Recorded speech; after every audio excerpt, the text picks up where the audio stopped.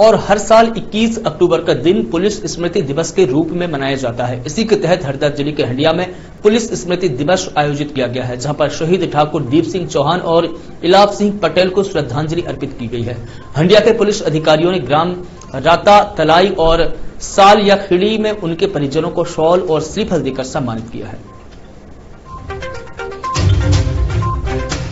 Deep Singh Chauhan duty के दौरान शहीद हुए हैं और ग्राम साल्या खेड़ी में इलाप सिंह पटेल वो ड्यूटी के दौरान शहीद हुए हैं।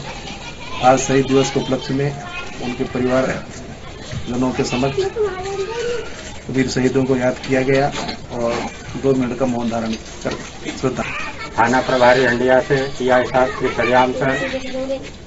एवं गाँव के सदस्यगण एवं शाला के छात्र छात्रा उपस्थित होकर वीर शहीद इलाज सिंह एवं परिवार को स्मृति दिवस के उपलक्ष्य में माल्यार्पण कर परिवार को फल श्रीफल भेंट कर सम्मानित किया